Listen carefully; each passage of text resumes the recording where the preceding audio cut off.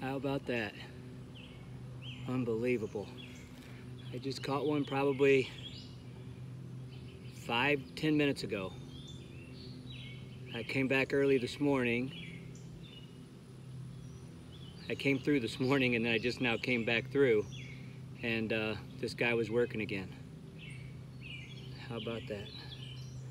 Unbelievable. Let's catch some moles. God bless y'all, the MOLiminator.